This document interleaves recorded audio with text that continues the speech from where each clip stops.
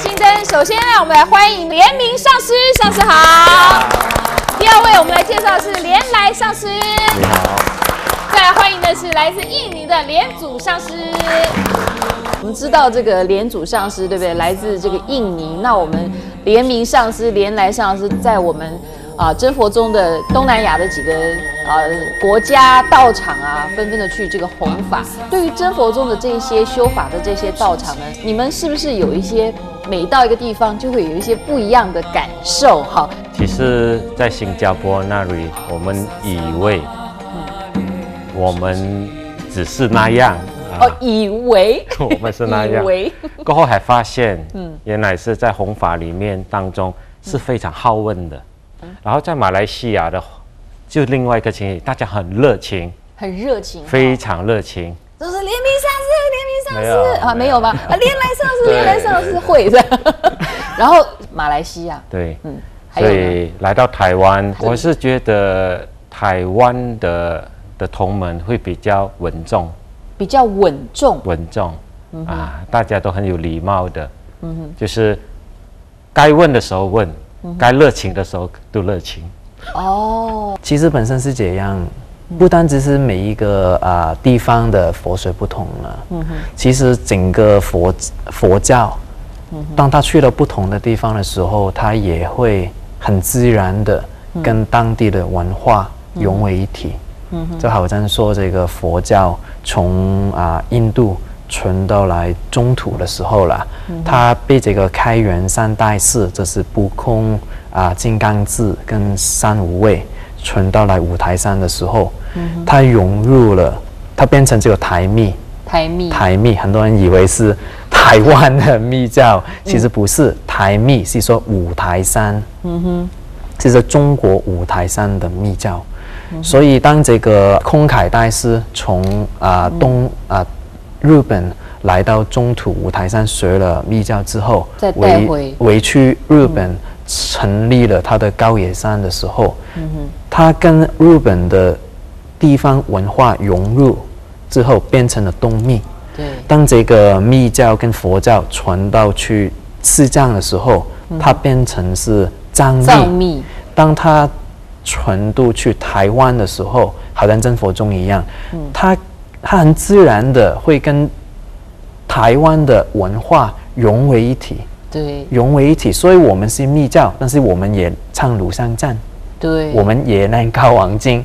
密教本身没有高王经，也没有庐山站，但是因为我们跟本土文化融为一体之后，很自然的会不一样。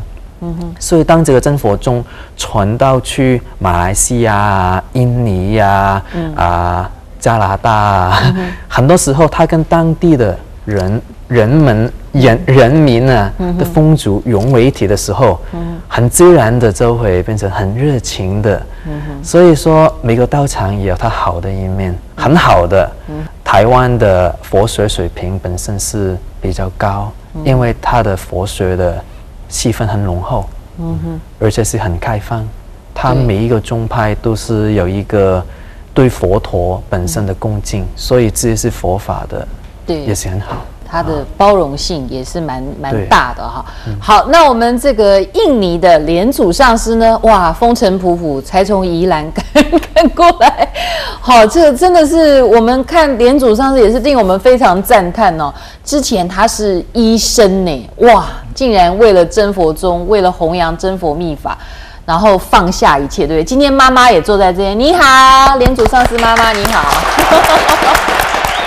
啊，上师，您来到台湾呢，现在是上师的身份了。您这样看，走了这么些道场，您觉得特色在哪里？我是很羡慕呃台湾的道场，嗯哼为什么呢？因为呃他们会，我觉得他们会懂得中文。后来呢，师尊的书每一次出的时候，就是会先在台湾先出版，那同门应该会第一读到师尊的书。哦，那不像我们印尼，我们印尼是比较难，因为我们不懂得中文，所以我们还要呃翻译成印尼文才能够来看师尊的书。哇，所以我我觉得台湾的同门很有福分，嗯，到场全部都是很有福分的。虽然是夸赞我们有福分，可是也觉得很惭愧。因为实际上我们如果真的有去到印尼啊，真的觉得说。有时候也不是我能够使得上力的，因为我不会讲印尼文，他们完全不知道华语的，然后他们只会听得懂印尼文的话，就完全要靠翻译的。而台湾我们是直接出版师尊的书哈，然后呢，大家又可以第一时间拿到师尊的书，所以这个部分我们真的是要好好的珍惜哈。所以上司觉得说不一样的地方在这里。不过我们呃曾经看到这个。联名上师呢，他呃去庄严雷藏寺，您在当时说第第一天去就看到，然后又有第二次，又有第三次到他们的坛城前的时候，有看到有白衣大士观世音菩萨。好，您看到了观音菩萨，这是一个什么样的看见？这是跟开悟有关系吗？其实没有什么关系，跟开悟没有关系。其实是这样，最主要的是因为佛菩萨。加持这一次的弘法心情，就好像一般来说我是这样，我去每个道场都会啊参拜他们的坛城，嗯哼。啊，然后有几尊我是个人会会注意的，比方说莲花童子，根本上是的的法相，我一定会故意去。找找，一定是在中间嘛。嗯，对。那另外还有找我自己的本尊，还有看看我的根本护法。啊，看到了这三尊之后，我的一般来说都是闭起眼睛，就向他们跟坛城的佛菩萨去祷告，说希望啊，可以这一期的弘法都可以很顺利啊，等等的。啊，记得有一次了。那其他的佛山我是比较少看。我是真的比较小看，很很很老实的讲。那有一次去到这个嗯某一个堂，去了某一个堂的时候啦，那我也是好像以前一样啦，就看到根本上师的法相啊，然后看到我的本尊，然后我的护法，之后我就闭起眼睛了。然后闭起眼睛的时候呢，就看到啊一尊很大的莲花生大师坐在前面啊。之后我没有故意的去想。很自然的就会出现来加持这一次的同修开始。嗯哼，那之后过后才发现，原来这个道场以莲花生大士为主尊，已经有二十多年。哇！所以这是很灵光的。嗯，这个不是我自己的功德，是因为根本上是有加持。嗯我们这一次的弘法行程，还有佛菩萨有加持。所以本身来讲，我们弘法人员也是抱着一个心态，所以说，如果是自己看到的东西没有利益到别人的，我们不会讲。哎，这个好，嗯，一个可以利益到别人的，嗯，跟自己没有关系的，好像看到莲花生大师对我自己没有什么，对我没有嘛，但是但是可以利益到别人，可以提提升他们的信心的话，嗯，这个我觉得是要讲。但是不是因为说我看到什么，我看到什么，然后觉得别人是有恭敬我，这个是不对了。嗯哼哼。所以很多时候说，啊，开悟是智慧上的，智慧上的佛法。嗯哼。啊，看到什么是有违法？看到什么是有违法？因为有生灭嘛，有生灭嘛。那那个是虚幻的吗？还是？是这样。一般来说了，在这个佛法里面。有所谓的看到我们的记性，嗯哼，还有看到外来的佛。如果你看到的不是你的记性，是外来的，那你看到的是外来的佛，嗯哼，不是看到你的记性。就像您刚刚讲，以那个做准则，如果没有什么帮助，对别人没有什么，就不应该讲，不要讲了。那那这个问题很严重哎，因为大家都等着你说你看见什么。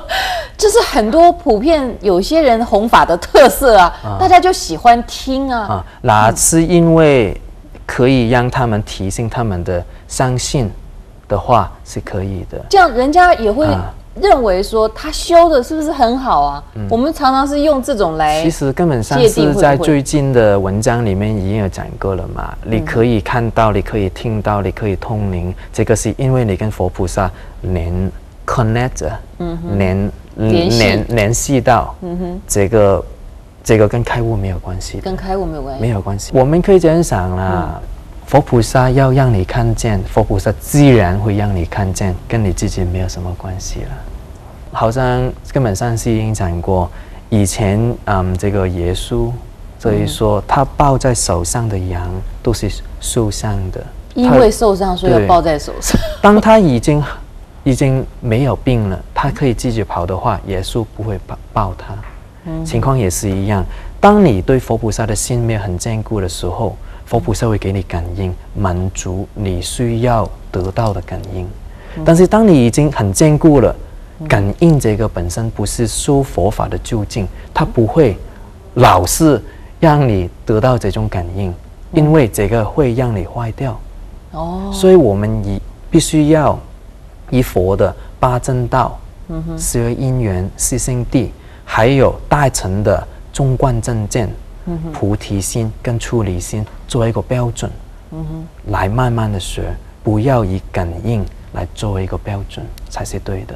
以前师尊早期的一些书谈到这些比较多，哎，启灵啊，哦，有些像我们以前怎么会皈依的，也是因为启灵。那可是现在这个阶段，我们就师尊比较重视的就是怎么样去开悟哈。所以这样听莲明上师讲了，我们就知道啊，莲明上师的境界，他开悟了，可是他看见于什么？那个跟他的开悟都是没有关系的，那都是某一个阶段。要利益众生而出现的一种现象吧。因为时间的关系，再次谢谢三位上师，谢谢，谢谢大家。